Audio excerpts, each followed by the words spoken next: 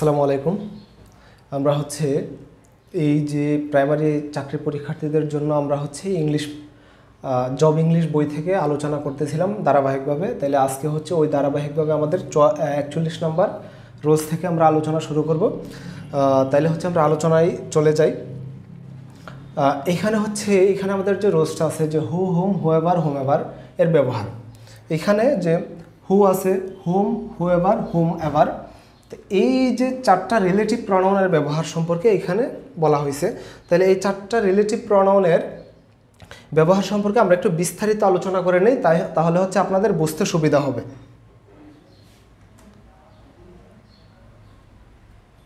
এখানে হচ্ছে relative pronoun দেওয়া আছে হচ্ছে আপনার দুইটা।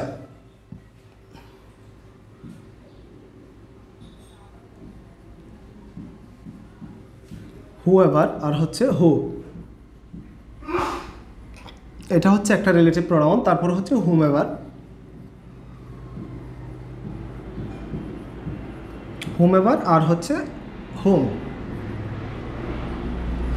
এইখানে এটার হচ্ছে একটা রুলস আর এটার হচ্ছে একটা রুলস তাহলে এই যে রুলসটা যদি আমরা আলোচনা করি, তাহলে এটার যে হোয়েভারের যে রুলসটা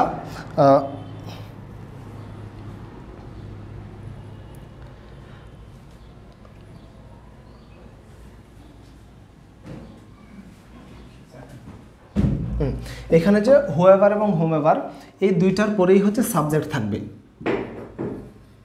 এই দুইটার পরেই সাবজেক্ট থাকবে। যখন এই শূন্যস্থানের পরে, যখন শূন্যস্থানের পরে সাব সরি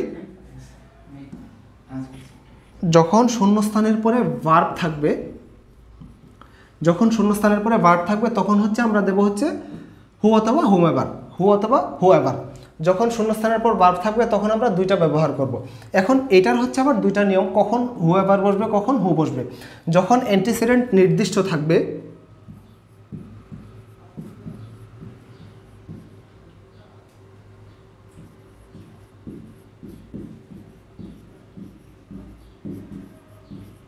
অ্যান্টিসিডেন্ট যখন নির্দিষ্ট থাকবে, তখন হচ্ছে হু আর যখন অ্যান্টিসিডেন্ট নির্দিষ্ট থাকবে না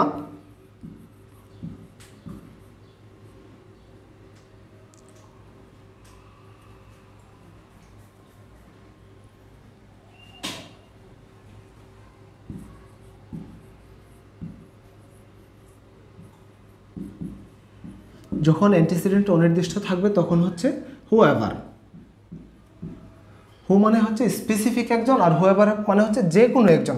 তাইলে আমরা বুঝতে পারলাম যে এই রুলসটার যখন শূন্যস্থানের পর যখন বার্ব থাকবে তখন বসবে হচ্ছে হুয়েভার অথবা হু আর অ্যান্টিসিডেন্ট যখন অ্যান্টিসিডেন্ট মানে হচ্ছে শূন্যস্থানের পূর্বে, শূন্যস্থানের পূর্বের যে শব্দটা, আমরা যখন উদাহরণে যাব তখন এটা ক্লিয়ার হয়ে যাবে।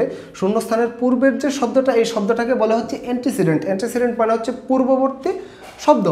পূর্ববর্তী শব্দটা যখন নির্দিষ্ট হবে, তখন হবে হু আর পূর্ববর্তী শব্দটা যখন অনির্দিষ্ট হবে, তখন হবে হচ্ছে হু হুয়েভার তাহলে এটার যদি আমরা একটা এক্সাম্পল দিয়ে যাই, এই যে দেখেন, আমাদের এখানে দেয়া আছে যে I know the lad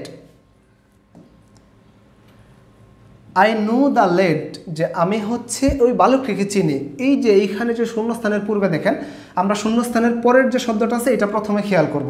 শূন্যস্থানের পর যদি ভার্ব থাকে, এই যে আমরা বলছিলাম, শূন্যস্থানের পর যদি ভার্ব থাকে তাহলে হচ্ছে আমাদের হু বসবে। শূন্যস্থানের পর ভার্ব মানে এখানে হুম বসবে না।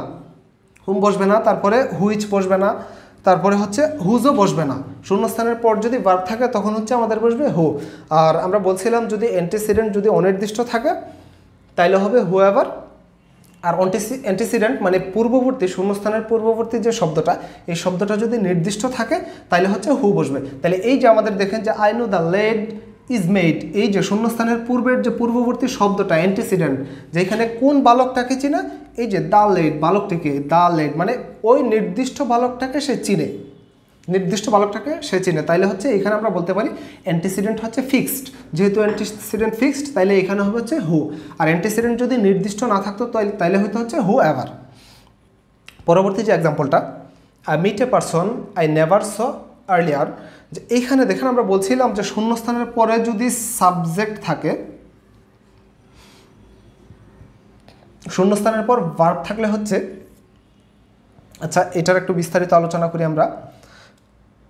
এই রুলসটা আপনারা মনে রাখবেন যে এন্টিসিডেন্ট যদি নির্দিষ্ট থাকে তাইলে হবে হু আর অনির্দিষ্ট থাকলে হচ্ছে হু এভার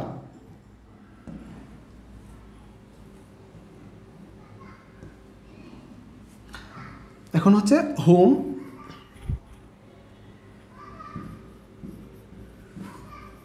হোম অথবা হোম এভার হোম অথবা হোম এভার হচ্ছে যখন পরবর্তীতে সাবজেক্ট থাকবে। তাহলে এই যে যখন আমাদের বার থাকবে তখন হবে হচ্ছে হু এভার অথবা হু আর যখন হচ্ছে সাব শূন্যস্থানের পরে যখন আমাদের সাবজেক্ট থাকবে তখন হবে হচ্ছে হুম আর হুমের মধ্যে যখন হচ্ছে অ্যান্টিসিডেন্ট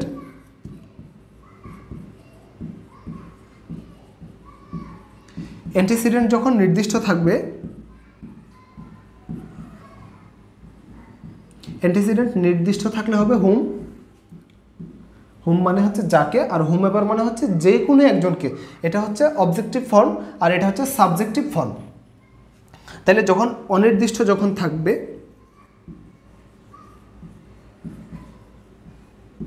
যখন অনির্দিষ্ট থাকবে তখন হচ্ছে হুম এভার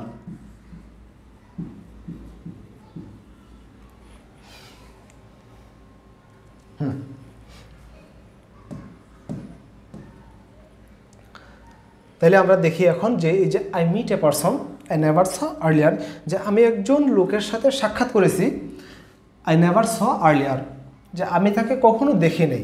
তাহলে আমরা প্রথমে দেখব হচ্ছে শূন্যস্থানের পরবর্তী শব্দটা দেখব। তাহলে শূন্যস্থানের পরে যে শব্দটা আছে, এটা হচ্ছে একটা সাবজেক্ট তো আমরা বলছিলাম, এই যে আমাদের যে এক্সাম্পলে ছিল, এখানে বলছিলাম যে শূন্যস্থানের পর যদি সাবজেক্ট থাকে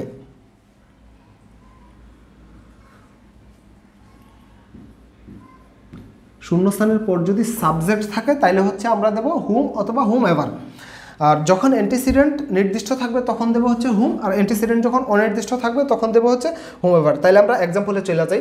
এই যে আমাদের শূন্যস্থানের পরবর্তী যে শব্দটা, শূন্যস্থানের পরবর্তী শব্দটা আছে হচ্ছে ফিক্সড একটা সাবজেক্ট আছে। শূন্যস্থানের পরবর্তী শব্দ সাবজেক্ট দ্যাট মিনস আমাদের এখানে হুম হবে অথবা হুম এভার হবে। এখন আমরা অ্যান্টিসিডেন্ট দেখব যে পূর্ববর্তী শব্দটা। এই যে পূর্ববর্তী শব্দটা এ পার্সন এ পার্সন একজন ব্যক্তি তাহলে এ পার্সন সে এমন একজন ব্যক্তিকে দেখছে যাকে সে কখনো আগে দেখে নেয় দ্যাট মিনস এই যে অ্যান্টিসিডেন্ট হচ্ছে নির্দিষ্ট, আর অ্যান্টিসিডেন্ট যখন নির্দিষ্ট থাকবে, তখন হচ্ছে হোম আর অ্যান্টিসিডেন্ট যদি অনির্দিষ্ট থাকে, তখন হবে হচ্ছে হোম এভার তাইলে এখানে সঠিক আনসার হচ্ছে হোম আর এখানে হু হবে না, কারণ আমরা রুলসে পড়ছিলাম যে হু এর পর থাকতে হবে হচ্ছে ভার্ব তাহলে এখানে আসা হচ্ছে সাবজেক্ট তাহলে এটা ভুল, আর হুইচ হচ্ছে হুইচ হবে না, কারণ হচ্ছে হুইচ এবং দ্যাট হুইচ এবং দ্যাট এই দুইটা হবে হচ্ছে বস্তুর ক্ষেত্রে। এটা হবে হচ্ছে বস্তুর ক্ষেত্রে অথবা অপ্রাণীবাচক শব্দের ক্ষেত্রে। অপ্রাণীবাচক শব্দের ক্ষেত্রে, এই যে পার্সন এখানে হচ্ছে ব্যক্তিবাচক। তাহলে অপ্রাণীবাচক শব্দের ক্ষেত্রে এবং বস্তুর ক্ষেত্রে আমাদের হবে হচ্ছে দ্যাট এবং হুইচ এটার একটা এক্সাম্পল যদি আমরা দেই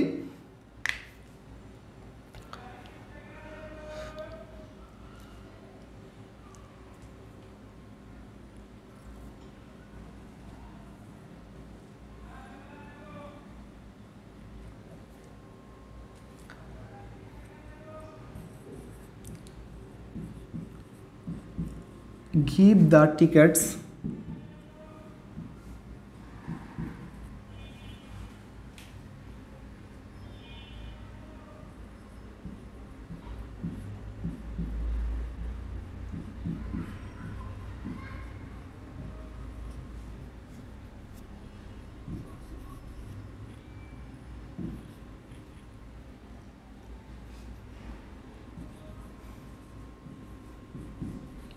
এই যে এই যে এক্সাম্পলটা আমরা বলছিলাম যে যখন কোনো বস্তুর ক্ষেত্রে অথবা অপ্রাণীবাচক শব্দের ক্ষেত্রে হচ্ছে এই দুইটা বসবে।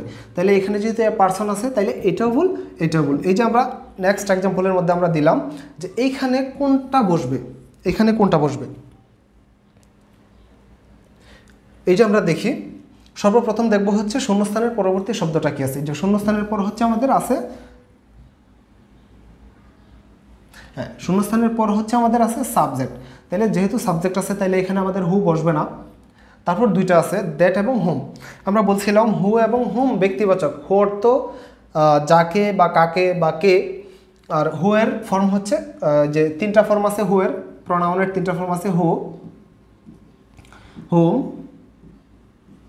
হোজ এটা হচ্ছে সাবজেক্টিভ এটা অবজেক্টিভ এটা হচ্ছে পজিটিভ তাহলে এইখানে হচ্ছে আমাদের এই যে হুম আছে, যেহেতু হুম যেহেতু ব্যক্তিকে নির্দেশ করে তাইলে এখানে হুম বসতে পারে, আর দ্যাটও হইতে পারে। এখন এই যে যেহেতু এখানে যেহেতু আমাদের সাবজেক্ট আছে, তাইলে হুম বসতে পারে। এখন আমরা দেখব যে অ্যান্টিসিডেন্ট কী আছে। তাহলে এই যে অ্যান্টিসিডেন্ট আছে হচ্ছে এখানে টিকেট টিকিট কোনো ব্যক্তি না, কোনো অপ্রাণীয় না, এটা হচ্ছে একটা বস্তু। যে তুমি যাকে চাও, তাকে টিকিটগুলো দাও। যেহেতু এখানে একটা বস্তু, তাইলে হচ্ছে এখানে আমাদের বসবে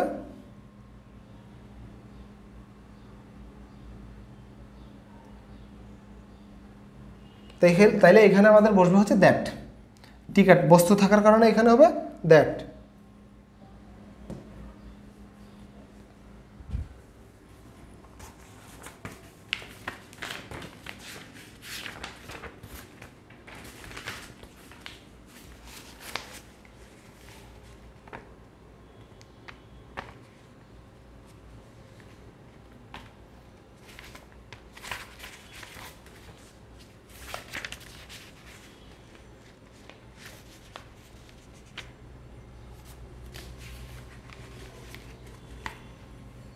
তাহলে এটার হচ্ছে আমরা আরও একটা এক্সাম্পল দিতে পারি যে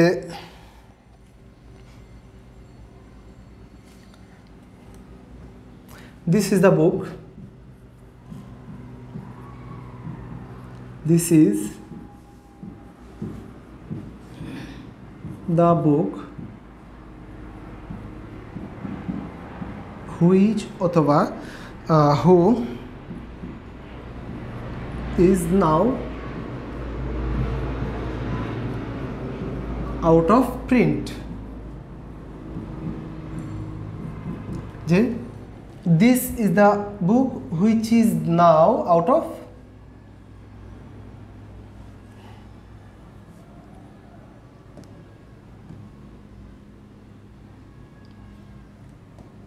এখানে যদি আমরা ড্যাশ দেই ড্যাশের মধ্যে যদি আমরা দেই অপশন দেই যে হু অথবা দ্যাট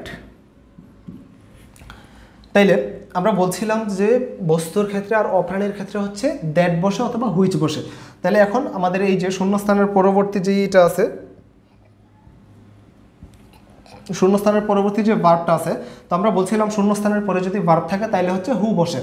এখন শূন্যস্থানের পর ভার্ব আছে তাহলে এই এই রুলস অনুযায়ী আমাদের হচ্ছে হু বসার কথা। তাইলে এখন আমরা অ্যান্টিসিডেন্ট দেখব, পূর্ববর্তী শব্দটা এই যে the book this is the book যে এটি সেই বই যেটি এখন মার্কেট আউট যেটা এখন মার্কেট আউট বা প্রিন্ট আউট যেটা তাইলে এখন হচ্ছে এই যে আমাদের বুক বুক হচ্ছে একটা বস্তু।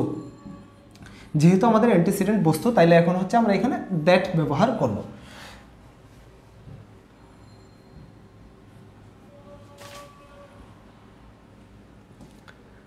তারপরে এখন আমরা এই এক্সাম্পলগুলো দেখব। যে ইম্পিরিয়র আকবর ইম্পিরিয়র আকবর, যে সম্রাট আকবর ওয়াজ এ সন অফ হুমায়ুন তার একজন সন্তান ছিল হুমায়ুন নামে। তাহলে এই যে এখন শূন্যস্থানের পরবর্তী শব্দটা আমাদের দেওয়া আছে ভার্ব যেহেতু শূন্যস্থানের পরবর্তী শব্দটা ভার্ব দেওয়া আছে, আমরা এখানে লিখছিলাম যে শূন্যস্থানের পর যদি ভার্ব থাকে, তাহলে হু বসবে অথবা হু এভার বসবে। তাহলে এখন হচ্ছে আমাদের এখানে হয়তো হু বসবে, নাহলে হু এভার বসবে। তা এখন দেখি আমরা এই যে এখানে হুম দেওয়া আছে। যেহেতু এখানে আমাদের হুম দেওয়া আছে, তাহলে এটা ভুল। কারণ যখন শূন্যস্থানের পরে যখন সাবজেক্ট থাকবে, যখন সাবজেক্ট থাকবে তখন হবে হচ্ছে হুম। তারপরে a great ruler a great ruler তো আমরা বলছিলাম যে যদি বার থাকে শূন্যস্থানের পর রিলেটিভ ক্লজ যদি বসে যে কোনো শব্দ সম্পর্কে সেন্টেন্সের কোনো শব্দ সম্পর্কে অতিরিক্ত তথ্য দিলে তখন হচ্ছে রিলেটিভ ক্লজ বসে। আর রিলেটিভ ক্লজ আমরা জানি হু অথবা হুম এভার অথবা হু অথবা হুম হুম অথবা হোম এভার এই রিলেটিভ ক্লজগুলো দ্বারা হয়, এখানে কোনো রিলেটিভ ক্লজ নাই, এই জন্য এটা ভুল। তারপরে আছে যে হু ওয়াজ এ গ্রেট রুলার এই যে এখানে হু এইটা বসতে পারে অথবা এইটা বসতে পারে। তাহলে আমরা দেখব যে এই দুইটার মধ্যে কোনটা সঠিক। এখানে এক নাম্বারটা ভুল, যে who is a great ruler সে একজন ভালো ভালো শাসক। এটা ভুল হওয়ার সবচেয়ে বড় কারণ হলো এই যে এখানে দেওয়া আছে ইজ এইখানে দেওয়া আছে ওয়াজ দ্যাট মিনস এটা পাস্ট টেন্সে সম্রাট আকবরের কালটা অবশ্যই এটা পাস্ট টেন্সে ছিল। এটা বর্তমানে না। এই জন্য এখানে বর্তমান দেওয়া আছে এই জন্য এটা হচ্ছে ভুল। আর এই যে এখানে দেওয়া আছে হু হু এর পর দেওয়া আছে ওয়াজ এ গ্রেট রুলার তাহলে এখানে যেহেতু পাস্ট টেন্সে দেওয়া আছে দ্যাট মিনস এটা হচ্ছে সঠিক আনসার আর বাকিগুলো হচ্ছে ভুল আনসার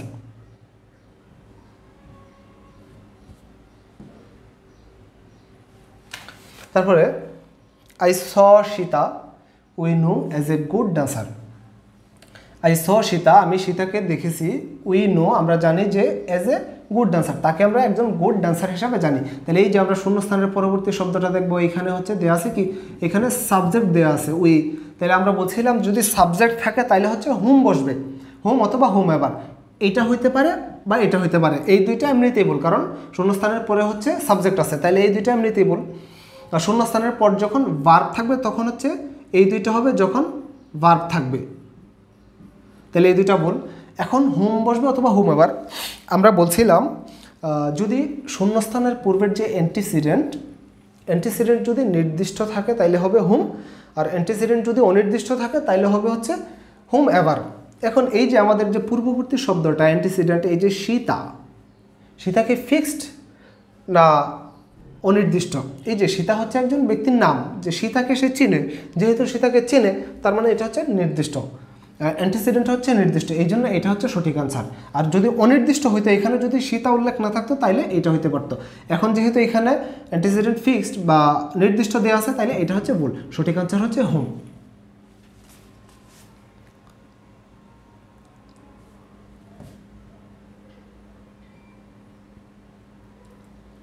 তারপরে, এখানে দেখেন আমাদের কি বলা আছে যে whoever versus whomever আমরা এটা আগে আলোচনা করছি যখন হুয়েভার হচ্ছে হুয়েভার হুয়েভারের পর হচ্ছে থাকবে হচ্ছে ভার্ব হুয়েভারের পর থাকবে ভার্ব আর হুম এভারের পর থাকবে হচ্ছে, এই যে হুম এভারের পর থাকবে হচ্ছে সাবজেক্ট যখন সাবজেক্ট থাকবে সাবজেক্টের আগে বসবে হুমেভার আর বার থাকলে বার্বের আগে বসবে হচ্ছে হুয়েভার আর দুইটাই হচ্ছে অনির্দিষ্ট হুয়েভার এবং হুমেভার দুইটাই হচ্ছে অনির্দিষ্ট।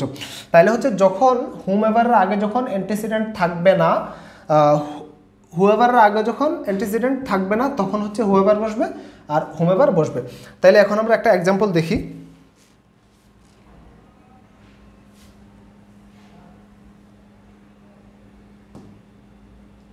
তো এখানে দেওয়া আছে যে হুয়েভার বায়োলার দ্য রোলস এখানে হুয়েভারের নাম কি? যে, এখানে হুয়েভার মানে কি? হুয়েভার মানে হচ্ছে কম্পাউন্ড রিলেটিভ প্রনাউন হুয়েভার হচ্ছে কম্পাউন্ড রিলেটিভ প্রনাউন এই যে এখানে ইন্টারগেটিভ প্রনাউন হবে না, কারণ এটা দেওয়া প্রশ্ন জিজ্ঞেস করছে না।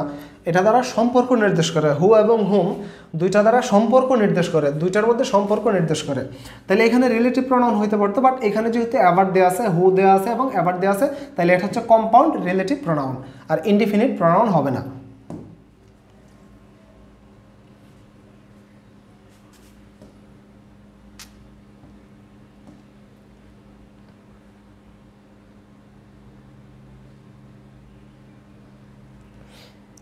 এখন হচ্ছে রিফ্লেক্সিভ প্রনাউন যে রিফ্লেক্সিভ প্রনাউন মানে হচ্ছে পার্সোনাল প্রনাউন সম্পর্কে আমরা জানি রিফ্লেক্স মানে হচ্ছে প্রতিসরণ বা প্রতিফলন। যখন একটা জিনিস আমাদের দিকে ফিরে আসে, ওইটাকে আমরা বলি রিফ্লেক্স তাহলে রিফ্লেক্সিভ প্রনাউন মানে হচ্ছে কোনো পার্সোনাল প্রনাউনের তার নিজের দিকেই ফিরে আসাকে বলে রিফ্লেক্সিভ প্রনাউন তাহলে আমরা দেখি যে কী দেওয়া আছে এখানে যে পার্সোনাল প্রনাউনের সঙ্গে সেলফ অথবা সেলফ যুক্ত হয়ে কোনো প্রনাউন যখন অবজেক্টের স্থান গ্রহণ করে এবং পশ্চাতে ফিরে পুনরায় সাবজেক্টকে নির্দেশ করে, তাহলে আমরা বলছিলাম যে আমরা যখন আয়নাতে তাকাই, আয়না আমাদের রিফ্লেক্স করে। আমাদের নিজের চেহারাটাই আমাদেরকে রিফ্লেক্স করে। ঠিক এই রিফ্লেক্সিভ প্রনাউনটা হুবহু ওই রকম যে পশ্চাতে ফিরে এসে আমরা যখন, এই যে পশ্চাতে ফিরে এসে পুনরায় সাবজেক্টকে নির্দেশ করে, তাহলে আমি যখন আমার যে ইউ শব্দটাকে, হিম শব্দটাকে যখন রিফ্লেক্সিভ প্রণয়নে রূপান্তর করব হিম সেলফ হিম সেলফ মানে সেই নিজেই হার সেলফ মানে সেই নিজেই ইট সেলফ মানে ইহা নিজেই। তাহলে যেই পার্সোনাল প্রোনাউনের সাথে সেলফ অথবা সেলফ যুক্ত হয়ে ওই প্রোনাউনকেই নির্দেশ করবে, ওইটাকে বলা হচ্ছে রিফ্লেক্সিভ প্রোনাউন এই যে myself yourself himself herself itself oneself ourself themself ইত্যাদি শব্দগুলো হচ্ছে এক একটা রিফ্লেক্সিভ প্রোনাউন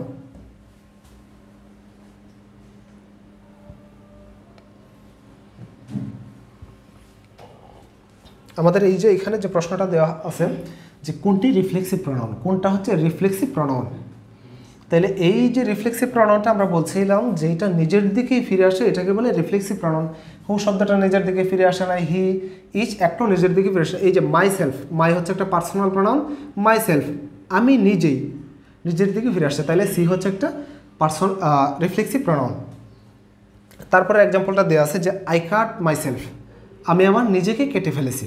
তাহলে এই যে আই নিজেকেই নির্দেশ করা হয়েছে এখানে।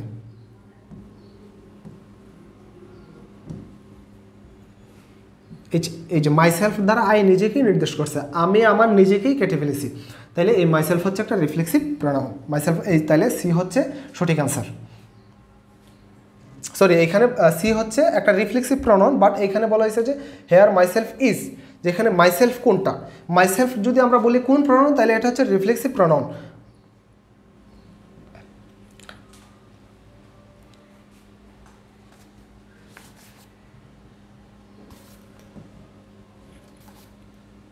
তারপরে which one is the reflexive pronoun কোনটা হচ্ছে রিফ্লেক্সিভ প্রনাউন আমরা বলছিলাম যে যেটা নিজের দিকে ফিরে আসে পার্সোনাল প্রনাউনের দিকে ফিরে আসে, এটা হচ্ছে রিফ্লেক্সিভ প্রনাউন তাহলে হু আছে হু হচ্ছে একটা রিলেটিভ প্রনাউন দে হচ্ছে একটা পার্সোনাল প্রনাউন বাট এটা নিজের দিকে ফিরে আসে নাই। দে বলতে শুধু তাকে বোঝাইছে। যখন আমরা বলতাম যে তারা নিজেরাই, তখন হচ্ছে যদি দে সেলফ দিতাম, তখন হয়তো এটা রিফ্লেক্সিভ প্রনাউন ওয়ান ওয়ান দ্বারা যে কোনো একজনকে বুঝাইছে, এটা কোনো রিফ্লেক্স করে নাই। হিম হচ্ছে পার্সোনাল প্রনাউন সে এটার সাথে সেলফ আছে। তাহলে হিমসেলফ হচ্ছে একটা রিফ্লেক্সিভ প্রনাউন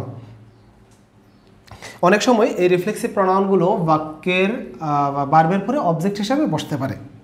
যেমন I correctly esteem as a study reasonable person যে আমি আমার নিজেকে একজন যৌক্তিক মানুষ হিসাবে বা যৌক্তিক দয়ালু মানুষ হিসাবে রিজনেবল কাইন্ড অফ পার্সন আমি আমার নিজেকে একজন যৌক্তিক দয়ালু মানুষ হিসাবে শ্রদ্ধা করি। তাহলে এই যে এখানে দেওয়া আছে হচ্ছে সার্টেনলি এস্টিম এস্টিম শব্দটা হচ্ছে একটা ভার্ব তাহলে আমরা এখানে দেখছি যে অনেক সময় ভার্বের পর রিফ্লেক্সিভ প্রোনাউনটা বসে, এটা অবজেক্ট হিসাবে বসে। তাহলে এই যে এস্টিম আমি আমার নিজেকে শ্রদ্ধা করি এস্টিম মাইসেলফ এখানে মাইসেলফ হবে।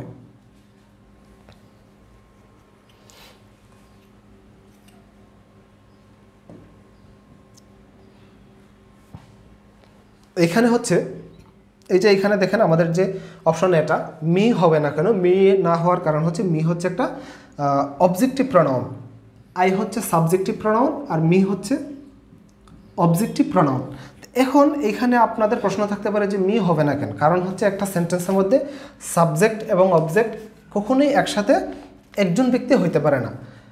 এই জন্য এখানে হচ্ছে মি হবে না। তারপরে মাইন হবে হচ্ছে পসেসিভের আগে। তারপরে মাই হবে না।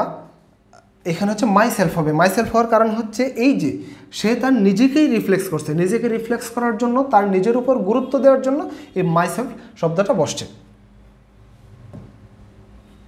তারপরের যে এক্সাম্পলটা আছে আমাদের চুজ দ্য কারেক্ট সেন্টেন্স সঠিক সঠিক বাক্যটি চিহ্নিত করো। তাহলে আমাদের হচ্ছে কিছু শব্দ আছে। কিছু শব্দ আছে, যেই শব্দগুলো সাথে রিফ্লেক্সিভ প্রনাউন নিয়ে বসে। এই শব্দগুলো হচ্ছে অ্যাবসেন্ট এনজয় এভেল ইত্যাদি। তো এই শব্দগুলো হচ্ছে সাথে এই শব্দগুলোর সাথে সবসময় রিফ্লেক্সিভ প্রনাউন বসবে। তাহলে এখন আমরা দেখি যে কোনটা সঠিক। এখানে দেওয়া আছে যে I shall avail this opportunity এই যে এভেল শব্দটা দেওয়া আছে। তো আমরা বলছি যে, এই শব্দগুলো অলওয়েজ সাথে হচ্ছে রিফ্লেক্সিভ প্রনাউন নিয়ে বসবে। এখানে কোনো রিফ্লেক্সিভ প্রনাউন নাই দ্যাট মিনস এটা ভুল। তারপর হচ্ছে আই শ্যাল এভেল মাইসেলফ এই যে এভেল শব্দটা হচ্ছে মাইসেলফ নিয়ে বসছে। তাহলে এটা হচ্ছে সঠিক আনসার এখন এখানে দেখি যে, সি নাম্বারটা I will avail this opportunity এই যে, এখানে এভেল শব্দটার সাথে কোনো রিফ্লেক্সিভ প্রণাম নাই, এটাও বল তারপরে I would avail this opportunity এইখানেও অ্যাবেল শব্দটার সাথে রিফ্লেক্সিভ প্রণাম নাই তাহলে এইটাও ভুল। তাহলে আমাদের সঠিক আনসার হচ্ছে বি নাম্বারটা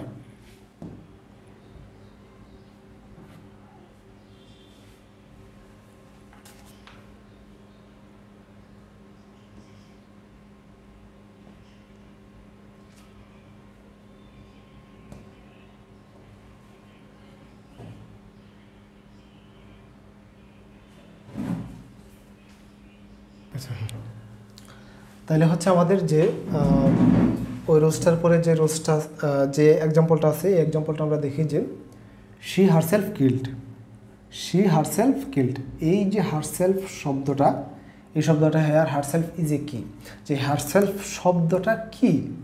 আমরা এই রোলসে এই যে এই রুলসটার সরি এখানে যে আমাদের যে আরেকটা রুলস আছে যে রিফ্লেক্সিভ প্রোনাউনগুলো মাঝে মাঝে সাবজেক্টের পরে বার্বের আগেই বসে যেতে পারে।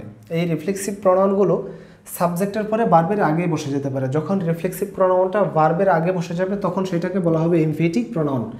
এমফেটিক প্রণয়ন এমফেটিক মনে হচ্ছে যে জোর দেওয়া অর্থে এমফেটিক প্রণয়ন হয়। তাইলে আমরা এটার যে এক্সাম্পলটা এই এক্সাম্পলটা দেখি।